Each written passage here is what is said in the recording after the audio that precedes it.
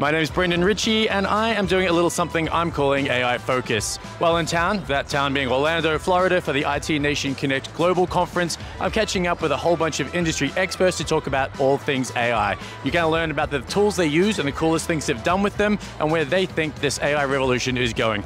Let's jump into it. Favorite AI tool uh, or tools, and the best things you've done with them? Yeah, I think uh, you already know the answer, certainly to one of them. Yeah. I've been playing around with Lovable for, for, for quite a while now, and, and to be honest, it's built some some really interesting things. For the uninitiated, Lovable is? Lovable is a vibe coding app. Mm-hmm. There's, a, there's a bunch of them around, but Lovable for me is um, has been really awesome to be able to create apps quickly Mm-hmm. that actually have a really good user interface and uh, look great. Because certainly what I see, one of, one of the biggest adoption adoption barriers eh, when you're building stuff is apps that are hard to use and clunky and Yeah. you know. So I, I think is really great because it allows you to create really easy to use applications really quickly and stuff that was taking months, we're now doing in, in days. I think there's actually a pretty good story there. Uh, didn't you have a fairly hefty budget put aside to actually create the app you then created in a weekend? Yeah, so we were talking about building a um, uh, a budget, uh, so technology roadmap application, and we, we initially had put about a seventy-five thousand dollar development cost against it internally. Um, I went home one night and I thought, what if I could do this in, in? What if I didn't talk to my wife or child for the weekend? Uh, when, that was a Wednesday night. Uh, I came Thursday morning, showed some people the initial kind of very, very kind of rough prototype, and they're like, "Yeah, this this has got legs." That Lance? Yeah. Uh, and so did some more work over the weekend, and by Monday it was look not the final version, but by Monday it was it was usable. MVP was out. It's iterated since. It's probably been less than a month, and it's, it's getting really good reviews from clients and prospects. Yeah, and we're adding more features. I can Yeah. add features in you know ten minutes, thirty minutes. It's uh, but vibe coding. As much as it is looked down upon by maybe the more traditional development Yeah. community, uh, it's certainly for me when I have a good understanding of the business problem and at least some development expertise. Yeah. Yeah, or at least what you know, used to know how to code back in the day. Yeah. Uh, and it's it's just allowing me to do so much so quickly. The vibe coding thing, I actually thought it would be a much broader or much more popular topic of conversation today, and it hasn't been. Uh, you're possibly the second, maybe the first, uh, to, to mention it. Um, so that, that in itself is interesting. So I think there's such a huge opportunity there. Yeah. So, okay. Uh, what else you got? Look, to kind of we pivot completely. Yep. Uh, you know, we were doing acquisitions. Uh, there's a lot of work goes on during due diligence. Mm. Yep. Uh, and so, you know, one of the one of the things that, that I've built is a, a due diligence GPT that allows me to do a lot of that stuff uh, super quick. And Mm. to be honest, it's found stuff that I would not have buried down in, you know, page 37 of a customer contract. Uh, and so, yeah, be able to go through due diligence in that sort of speed with that sort of low cost, uh, super helpful. So with that, though, much as was with the case, the case with anything in AI, good data, good outcomes, right? So Yeah. I assume that due, due diligence. It's late in the day. I've had so many conversations, missing my words completely. But you must have so many great examples of due diligence done well. You must have so much experience to draw from to tell it what you need. That's the trick, right? Oh, it's still that there's some of that. Some of it's also just making sure you're asking and getting the right data because you're really due diligence is about asking for a lot of information, making sure that is at least somewhat in the right format. But now I don't even have to worry about the format as much because I can upload it and and go from there. For me, the trick with any ChatGPT type um, uh, implementation is start not by just putting in and expecting to give you the answer, but start by being curious with it and asking really intelligent questions Yeah. and go from there. One of my, yeah, probably one of my biggest learnings from this trip is seeing the prompts you used uh, the other day where you basically said, What do you need to know from me in order for you to do this task well? Correct. And then that was a really interesting way of Yeah. prompting, quite different. I, I generally I, I set up what I'm trying to do, and then I say, so what, what would you need from me uh, to, to do it? Same as way I talk to a staff. member. Stop asking me questions. I I don't know. What do you need? You know. yeah, fair. Okay. Uh, great. Okay. Uh, the other thing I think you've done well with, I don't want to miss it, is the tell me I'm wrong. So do you want to touch on that or do you want me to call? it?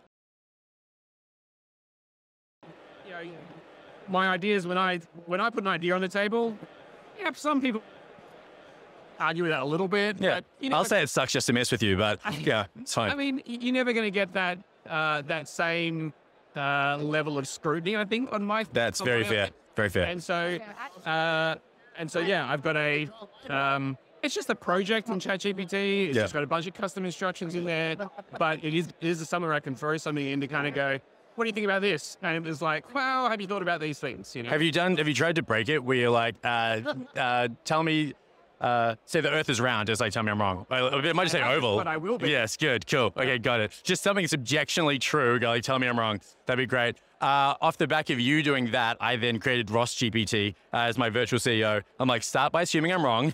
tell me why I, this is a bad idea. And I'm like, good. Now that I know that, I can adjust it. Now I can go. So I'm basically saving you time. You're welcome. There you go. Yeah, look at me go. All right, cool. Uh, I want to touch on away from move on uh, from specific examples more broadly. This is roughly three, three and a half years since ChatGPT dot zero or one dot zero launched. Um, AI is omnipresent. We can't escape it. Every meeting we go to, it is spoken about. What are you most excited about in this time, and what are you less excited about when it comes to, to the, the world we now live in? most excited about look I, I think that that we are still actually discovering uh, all we can do with it and, I- and i talked about this a lot and it is it's we often go with a business problem and then say how do i solve it whereas i still am still find myself finding new things Whereas like uh, i i'm led by what it can do not what i need sometimes Yeah, So okay. I, I think that as, as much as that's probably a backwards way to go about it traditionally, Mm. uh, I think there's some really interesting opportunity there. People just that they didn't even realize it was a problem that could be solved. Yeah. they didn't even know it was a problem that it Yeah. was solvable. So I But think, the the great example there is is having uh, rolled out ChatGPT to all of our staff, connected it to so many apps internally now. Yeah. I'm genuinely having ideas I never even thought I needed to solve because it's just a thing that maybe is possible now. It's it's kind of a weird like synapse connecting situation. You're like, oh shit. Okay. Anyway. Uh, okay. So there's that. Uh, I guess. Actually, a couple of examples today. I, I've learned. Did you know that the Grok feature is available in the Tesla? D- I didn't know. Yeah, I didn't know. And the other thing with our advanced audio um, button on uh, on the app on phone, if you press the the uh, camera button, and you can get it to tell you what it sees and start doing that. I didn't know that. I did not know that. I didn't know that until an hour ago. upload something to it. I didn't Yeah. realize the Yeah. that- So I've, I've got an example uh, from our conversation with Mark at, uh, at Thread. yeah, Thread? Yes. Yeah. So, uh, so that was super interesting. So I'm just like, for me, the fact that there are, there's so much more functionality than even, you know, people who are clearly very capable when it comes to technology. Yeah, it's discovery. Yeah, it's just so so we're just scratching this. We're not even getting the other sides. You know. Yeah. Uh, and, and so the other side, you said, what am I? I think you said, what, Yeah, negative. Yeah. What are you less excited about? Yeah. Look, I'm less excited about the fact that there are a lot of people that are just using ChatGPT out of the box, you'd- let's say, Yeah. and then going, here's my, like, It's called work slop. Apparently, I heard that today. right, well, Yeah. it's, it's like, if all I needed was someone to put something in ChatGPT and then tell me what it spat out, I'd like, create a ChatGPT agent to do that. Yeah. so I think that the, the challenge is um, that, yeah, like you said, sloth, the wordy, generic, em dashes. all that kind of stuff. Look, maybe the em dash is going to have a comeback. I mean, let's let's not put the em dash down. I mean, maybe we're the maybe we're the ones that aren't. Mo- Every single conversation today, that's all I've done, just putting em dashes down. So if you're telling me now we shouldn't, we have to. We have a lot of work to redo. Anyway, carry on. Um, so yeah, look, I think the the poor use of it, Yeah. and in you know, and I'm seeing that across organizations, publicly, like consumer consumer, Yeah, yeah. consumer land. I know in in schools they're having challenges with this kind of stuff. Um, it's it's how do you make sure that it's not just type something and get an answer, and accept the answer. Yeah. Like that's that's, Yeah, that's yeah. going to be a societal challenge almost. Yeah, hundred percent. It's so it's it's easier than ever to be lazy and still get stuff done, but it's more important than ever to be curious. Right. Look at me go. What a nice wrap up. I'm really proud of myself this late in the day. All right. Uh, is there anything else you'd like to say while we're together on camera uh, at this lovely event that we're very lucky to have been invited to uh, to do this at? Um, it's always nice to be here with you. Oh, thanks, mate.